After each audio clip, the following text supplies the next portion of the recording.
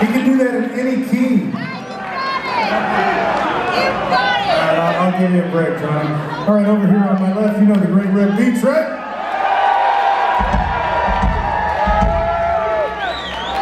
Now, it's been a while since Wingers played Houston. How long has it been? Bev would not remember. Too long? Too long! Two years? Too long! Three years? Two years. We're very happy to be back. We love you guys, Rucker. I love this place. And this is a cool venue, too. Thanks for coming.